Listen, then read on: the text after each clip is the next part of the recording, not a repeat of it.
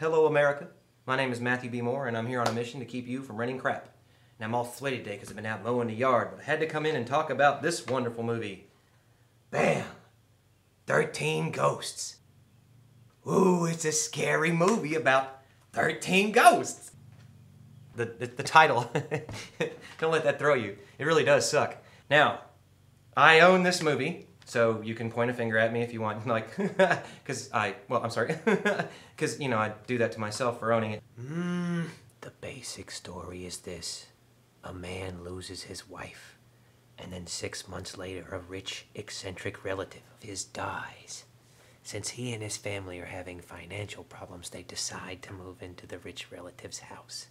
But it's all a setup to bring them there, to unleash the evil that is 13 ghosts in a great big crazy looking glass house. Ooh.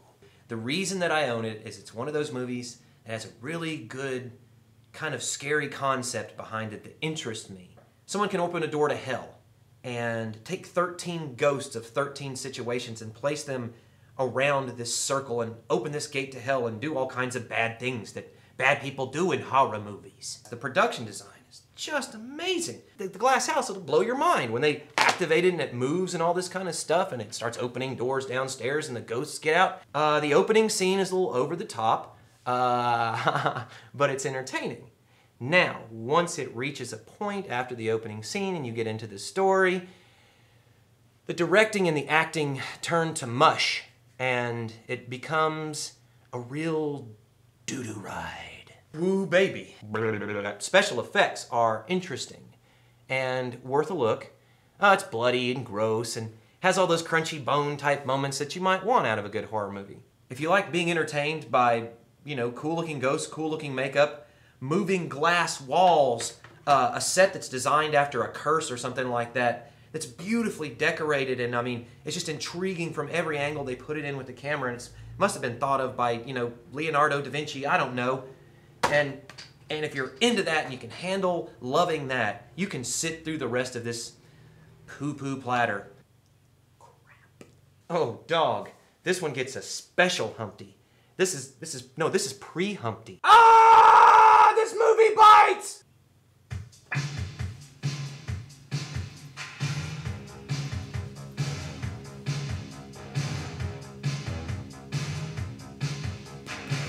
This movie is as bad as Eddie Murphy's Party all the time. And I just want to let you know again, if you're drunk or it's late night and it's USA, maybe. Other than that, oh man. Or again, if you like the sets and you like that interesting kind of stuff and you like to watch it from an artistic standpoint. Other than that, dance to the Murph. I need one of those microphones with like the little pantyhose in it that was singing to in the video. And, and hold my hand on my ear. Yes, that's how bad this movie is.